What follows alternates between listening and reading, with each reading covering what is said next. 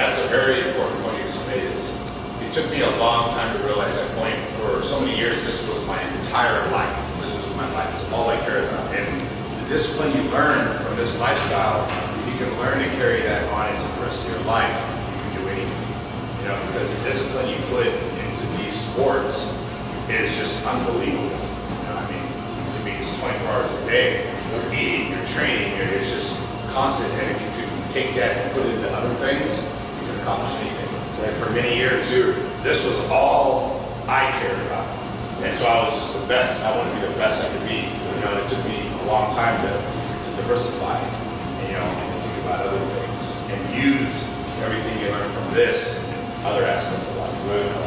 So that's very important, is, uh, you know, being successful along with um, continuing to learn from this and doing other things. There's so many athletes that never achieve their goals and what they're trying to do, but then they also don't have anything else. So when they're 50, 60, they didn't actually achieve what they wanted to achieve, but then they have nothing else also.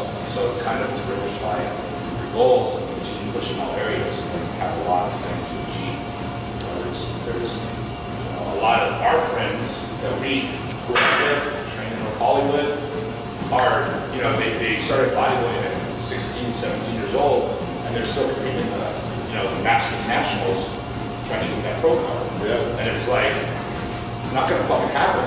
Yeah. It's not gonna happen. You've been competing for 25 years. It's not gonna happen. You know? Yeah. I, I, I don't tell them that. I wanna tell them that, but I don't. Yeah, yeah, yeah, But yeah. you feel bad because it's like, they You have nothing else, bubble. nothing else in life. It's great that they gave everything to it, but, you know, maybe they didn't give enough to it, because maybe they would have reached their goals. Yeah, true. Yeah, true. You gotta train harder and you gotta eat harder and you gotta be smarter and you just, you need to go in there with no doubt and you know before you even hit that platform, that weight's already done. Before you even get it, you know? And another important aspect is you've got to have a partner that is there with you and understands completely about that world. And if you don't have that, that will You're destroy you. You're done. Destroy you. So that's very important. Yeah. Is having someone there that understands with you, they're going through the steps, and uh, mentally, they're keeping you on track. And uh, anything else than that, it's over, it's done. Well, I gotta be honest. The person who is your head person on your team, the day that you compete, shouldn't have to think about anything. You should just be the machine, the performer, and they deal with everything else. You know, now, you know, Seraphine McDonald's my workout partner. She takes care of everything for me.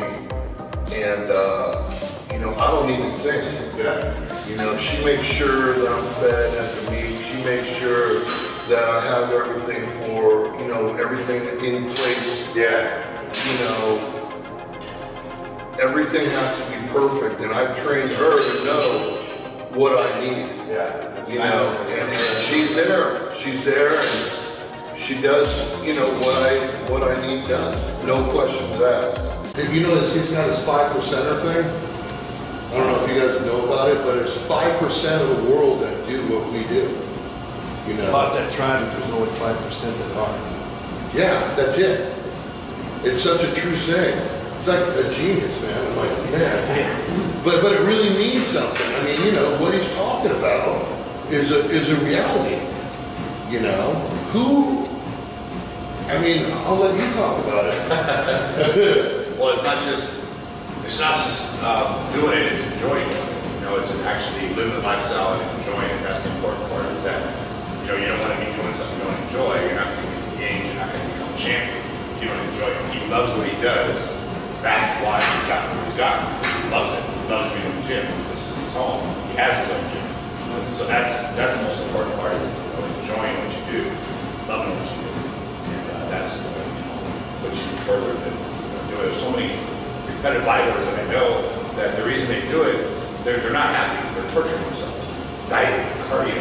Oh, fuck, I do cardio. Oh, I got two more meals to eat. Oh, should I get up at five? You know, it's like, why are you doing this? If all you do is bitch complain about it. You stage, you're not going to benefit from that attitude.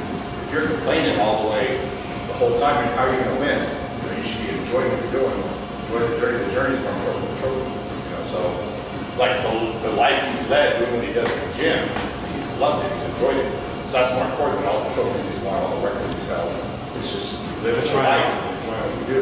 So, you know, there's certain people that, that just love it, crave it, enjoy it, do it because they love it. You know, that's, that's kind of the five percenters, you know, that just really love what they do.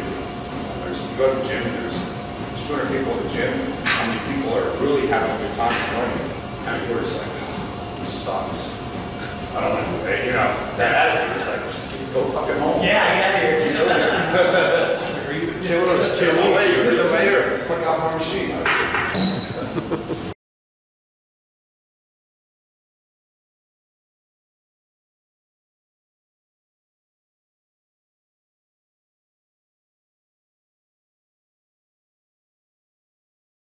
MrYorkieLoverFitness.com.